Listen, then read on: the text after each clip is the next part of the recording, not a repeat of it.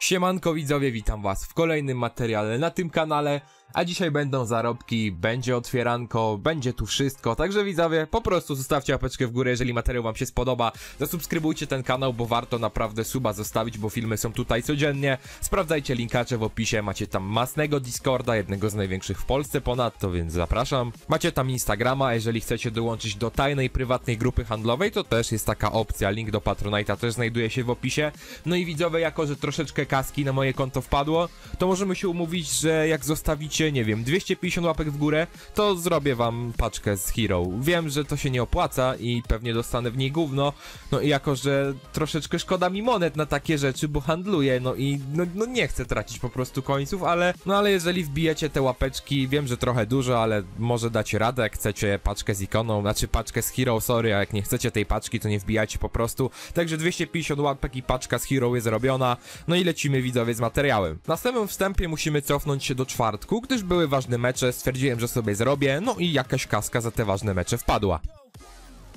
Ale może coś odda z tych wał... O, walkout! Znowu Robertson. Ej, ja go trafiłem już? Dwa razy nie wiem jednego w ogóle. Nie no, klasa, klasa, ważne mecze oddały. Kolejny walkout i to jest Sterling? O kurde, nice, e. Co jest grane? Ale jazda te ważne mecze. Nie, nie, nie, spodziewałem się, że dwa z ważnych meczy, dwa jeszcze inform do Pixelu. Nie, tego Sterlinga to muszę wziąć do klubu, albo zrobimy tak. O.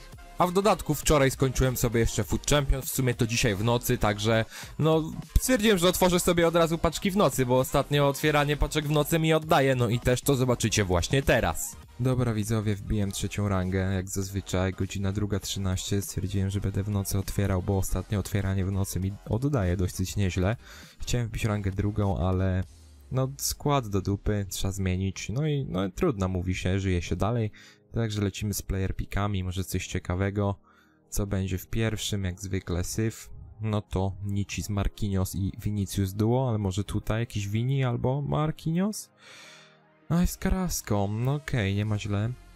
Ale no liczyłem szczerze na jakiegoś Winiego albo Marquinhosa, bo bym sobie do składu wrzucił, ale mamy jeszcze dwie paki do otwarcia i może tutaj w paczce Team of the Week Premium jakiś Vinicius albo Marquinhos. Uwaga, czy będzie walkout w tej paczce? Nie ma walkoutu chyba nawet. O Boże, Buffon 8-3 oceny. No to chyba paka do Quixelu. Także widzowie, super jest. Nie no, Buffon nic nie warty, nie? Dobra, weźmiemy go na listę tych dwóch typa do wywalenia. No i paka za stówę, może w pace za stówę coś odda, ale szczerze to wątpię. No ale wiadomo, trzeba sprawdzić, nie? Pewnie bez walkoutu będzie. Jest walkout, ale jakiś pewnie cienki. O właśnie, Rodri 8.6. No zajebiście. Ma może coś poza nim, może coś fajnego. No i co? I, i, i gówno jest. No, no nie wiem co mam zrobić z tym.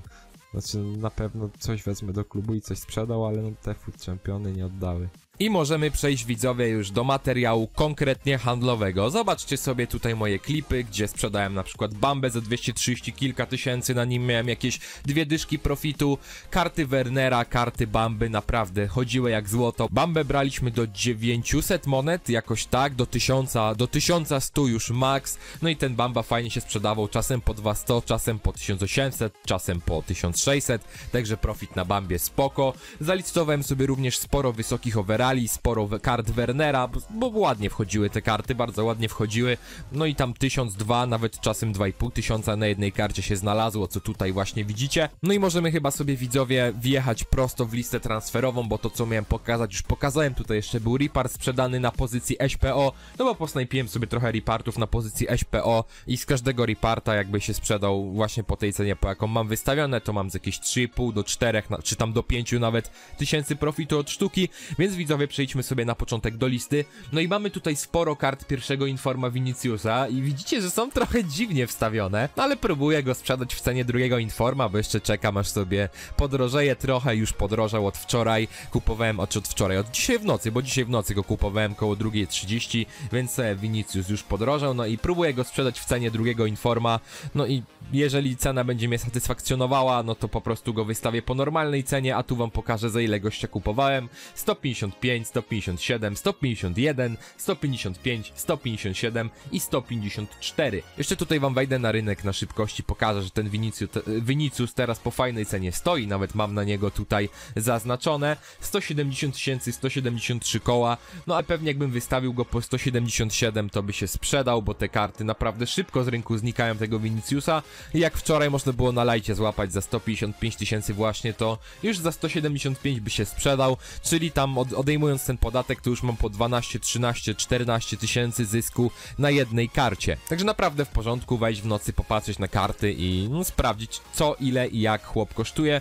Tutaj mamy fodery, wysokie overale, też skupowałem na licytacjach, bardzo fajne promocje na niektórych kartach, zobaczcie Verati za 5,5 tysiąca.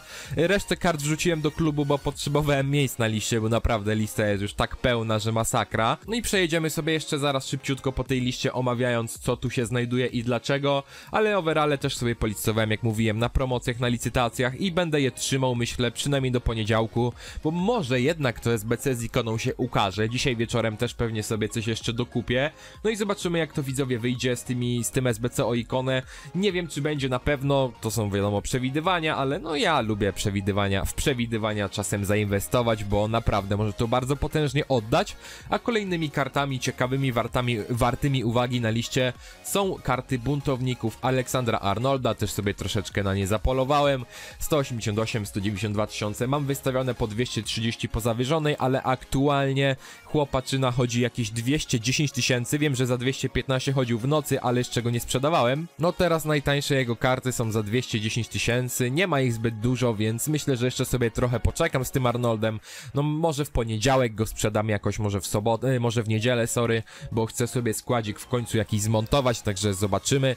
Ogólnie to co do składu, to wejdę i wam jeszcze pokażę, że dalej jest to samo od x czasu, no i tym naprawdę ciężko się grało te Food Champions, no ten skład już nie domaga, tutaj zamiast y, tego chłopa, jak on ma Romero, jest Joe Gomez, bo y, dostał Gomez mi czerwoną karteczkę, więc go musiałem wywalić na jeden mecz. No tym grałem, wiadomo, że Messi, Fekir z ławki, ale no to już nie jest to, co tydzień temu, znaczy nawet dwa tygodnie temu, bo dwa tygodnie temu też podobnym składem grałem, no i widzowie, no to już nie jest to, to już nie daje rady, Food Champions jest naprawdę ciężko. W Rivalsa chodziło łatwiej z tym składem, chodzi w pierwszej lidze, ale no jest już ciężko i chcę to zmienić i w końcu sobie zrobię jakiś porządny skład.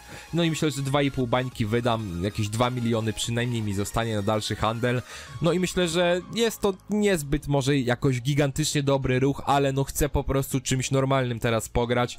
No i jestem w stanie przyjąć na klatę to, że mogę tam z 300 tysięcy na tym składzie stracić, ale myślę, że te nagrody za jakieś rivalsy, czy za skład battlesy, czy za food championy, które będę grał, mi po prostu zrekompensują tą stratę, więc no, sobie taki składzik zmontuję.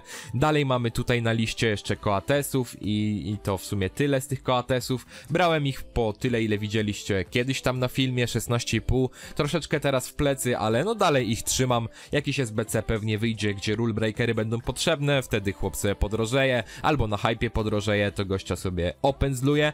A kolejną kartą tutaj wartą jakby uwagi jest Ten kupiony za 25 tysięcy. Miałem w ogóle jednego wystąpionego za 14, ale go sprzedałem od razu. I miałem jeszcze jednego kupionego za 21 tysięcy. I nie wiem kompletnie gdzie on jest, czy ja go sprzedałem, czy ja go niechcący squickselowałem. Nie wiem naprawdę co się z nim stało, ale teraz ten Arnautowicz około 28 tysięcy stoi, także nawet na tym kupionym za 25 koła mamy profit, zobaczcie, nie ma, za 28 nawet już nie ma. No, za 29 jakoś najtańsze, myślę, że za 28 750 taki Arnautowicz by poszedł, także też dosyć spoko inwestycja, bo nawet na kupionych, jakbym ich brał za 25 tysięcy masowo, to bym miał proficik. Dalej mamy karty Riparta, tak samo jak Coates wystawieni są po zawyżonej, raz na czas taka jedna karta się sprzeda, więc naprawdę spoko, a tutaj mamy jeszcze tych Ripartów, o których wspominałem wcześniej na pozycji SPO, no których sobie wystawiam po te kilka tysięcy drożej, tam tego mam na przykład kupionego za 14 750, wystawiam go za 17 750 monet, no bo na pozycji SPO trochę drożej chodzi, jakiś fajny styl gry czasem tu się znajdzie, na przykład jednego z myśliwym Reparta kupiłem za 19, za 16 i pół tysiąca, sorry, się trochę zamyśliłem, no i myślę, że mogę go sobie za, za 18 750 w tym momencie wystawić, no wiadomo, zawsze jakieś tam profity są, kaska na liście się obraca, no i tak się żyje, widzowie, w tej O, te Viniciusy niestety mi się nie sprzedały, wystawione w cenie drugiego Informa, także jeszcze ze dwa razy może spróbuję, może ktoś akurat się pomyli i mojego winiego weźmie, a jak nie, no to wiadomo, sprzedam sobie i tak z profitem, bo naprawdę fajnie teraz te karty sobie odbiły. Dalej mamy Atala, no i Atal to jest totalnie żenująca inwestycja, powiem wam szczerze, to jest totalna klapa, no i chyba w Informy grywalne już średnio mam ochotę wchodzić, bo to co się dzieje to to naprawdę jest hit. Niby jest najtaniej wtedy, jednak wtedy nie jest najtaniej, jednak ten Natal dalej spada, mimo że jest naprawdę dosyć spoko kartą, no to zaraz on będzie Quicksell kosztował, więc no nie wiem, jeszcze się z niego nie będę wyprzedawał, powystawiam go po tej zawyżonej, może ktoś kupi, może jeszcze sobie odbije chłopak, ale no w te tańsze informy z drużyny tygodnia raczej nie mam zamiaru już inwestować, chyba że będzie sytuacja jak była w którejś tam z drużyn tygodnia, że był Fati w cenie Quicksellu do wzięcia, czy tam Bellingham, no to wtedy takie karty warto sobie zabrać i na listę podtrzymać parę dni i zobaczyć co się z nimi stanie, no bo jak bierzemy po cenie Quicksellu grywalną kartę z dobrej ligi, z dobrymi linkami, no to, to ciężko, żeby na niej stracić, ale no na tym Atalu myślałem, że naprawdę uda się fajne coiny zarobić, ale no, no dupa jest tego Atala, no i mówi się trudno, ważne, że inne inwestycje to rekompensują. Dalej mamy Obama Younga wystawionego za 5600, wystawiłem go dlatego, bo miejsca na liście potrzebowałem, ale się nie sprzedał, więc już go nie będę wystawiał. Dwóch Wernerów mi zostało, no to sobie zaraz ich odświeżymy. Bamba też mi został trochę sztuk, jak widzicie. Nie sprzedałem wszystkiego, sprzedałem ponad połowę tego Bamby, bo jeszcze miałem trochę w tym, w... Yy, jak to się nazywa? W celach transferowych miałem podbitych trochę jeszcze i nie wszystkich sprzedałem. Mogłem więcej na tym zarobić, ale no wystawię znowu, jakby odświeżę te karty i tam na godzinę dwie czy trzy karty tego Bamby się sprzedadzą. A tutaj widzę, że coś mi się sprzedało i nie wiem co, muszę to sprawdzić. Znowu coś się sprzedało, to pewnie Wernery się sprzedały po 4300, znając życie. Yy, No, a jednak nie. Nie wiem, co mi się sprzedaje w ogóle. Proszę mi to pokazać, bo... Czemu to się nie odświeża? Przepraszam bardzo. Ja bym chciał wiedzieć, co mi się sprzedaje, nie? Ale lipa, poczekajcie, ja chcę to odświeżyć. Dobra, widzowie, musiałem zresetować futa, bo nie chciało mi się pokazać, co za karty mi schodzą, więc no, dziwne trochę. No, dwóch Wernerów i Obama Young, w sumie to on teraz chyba za 6000 z- y, chodzi, nie wiem czemu go odświeżyłem. Wernery gdzieś tak 4400, 4500, więc no i tak mam profit, no bo kupowałem ich po taniości. Więc widzowie, zarobek jest fajny, jeżeli chcecie tą y, paczkę z ikoną, znaczy paczkę z Hero, no to wiadomo, łapa w górę, 250 i będzie. No i możemy w tym momencie przejść do SBC, czy coś ciekawego tutaj jest. Y, No, no nie ma za bardzo. Jest Gozens co prawda, ale no tutaj nie ma wymaganej karty Rule Breaker, a ten Gozens naprawdę spoko by sobie radził, jakby mu pozycję na SPD zmienić i wziąć tego defensywnego. No w sensie przestawić go w grze na SPD, czy tam na SP, no i byłby naprawdę dobry. Szkoda, że tu nie ma wymagania karty Rule Breaker, ale no liczymy na kolejne SBC, w którym właśnie będzie wymagana karta RB. Dodali jakiegoś zawodnika miesiąca Eredivisie, tam nie wpłynęło w ogóle na nic, dodali Lenor, Lenormanda i tutaj widzicie, że mam jeden skład zrobiony tylko po to, żeby odebrać sobie paczkę dwóch y, piłkarzy rzadkich i może coś w niej trafić, bo jest wymienna. Niestety nie oddało, więc no, no trudno, ale ogólnie to te SBC, co pododawali, to jakoś gigantycznie na rynek nie wpłynęły. W ogóle zastanawiam się, czy tego Dante sobie nie zrobić, bo podobno jest gigantycznym kozakiem. Dawajcie znać w komentarzach, co o nim myślicie. No, opinię czytałem, że jest dobry, że lepszy od Kimpembe nawet jest, więc no nie wiem. Może sobie go zrobię, bo kart w klubie trochę mam. Oczywiście, no jeżeli ktoś z was z nim grał, to możecie dać znać w komentarzu, jak już mówiłem, bo bym chętnie poznał waszej opinii. Ale ogólnie w SBC to nie ma nic ciekawego. Czekamy, co dzisiaj dodadzą, czekamy, co dodadzą jutro, czekamy, co dodadzą w poniedziałek i będziemy sobie jechali na bieżąco. Może jakieś przecieki wyjdą, to oczywiście zobaczymy. No i ostatnia sprawa dzisiejszego filmu, widzowie, to co warto robić, czym się warto zainteresować, bo pewnie będą takie pytania w komentarzach, więc wejdę i pokażę. Możecie sobie wejść na bohaterów food na przykład i sobie posprawdzać ceny, szukać na nich okazji, bo naprawdę okazji sporo da się znaleźć. Musicie wejść, znaleźć swoją kartę, popatrzeć na ceny, może jakaś licytacja, może jakaś snajperka. Warto się też zainteresować y, buntownikami. Często ludzie wystawiają po promocjach, więc no naprawdę warto sobie złapać, ewentualnie najtańsze karty buntowników można sobie posnajpić nadal. E, Zaraz zobaczymy, pewnie coś koło 13 tysięcy kosztują, nawet tańsze są tego Sangare, jakby sobie na przykład do 12 czy tam do 11,5 tysiąca łapać, to naprawdę może to oddać, bo jeszcze pewnie wyjdzie SBC, w której będą potrzebne karty Rule Breaker do przepalenia. Warto się zainteresować teraz na flipowaniu na kartach, czy to grywalnych, czy to właśnie wysokich overallach, czy to na informach starych informach, bo naprawdę mają bardzo fajne wahania ceny, jak na przykład ten Vinicius, o którym mówiłem, że w nocy dało się go dostać za 150 kilka tysięcy, teraz już mamy go za 170, pewnie ktoś wystawił taniej.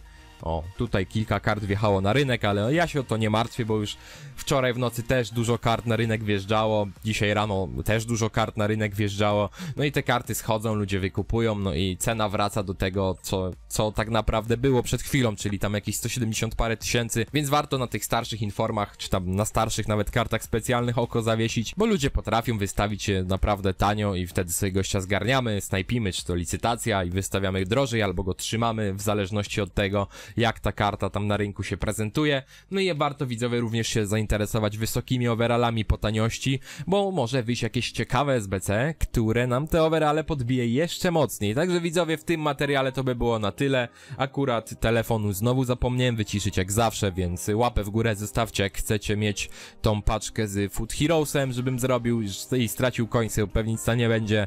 Zostawcie suba, wbijajcie do opisu, tam są fajne linki i widzimy się już jutro. Trzymajcie się i na razie.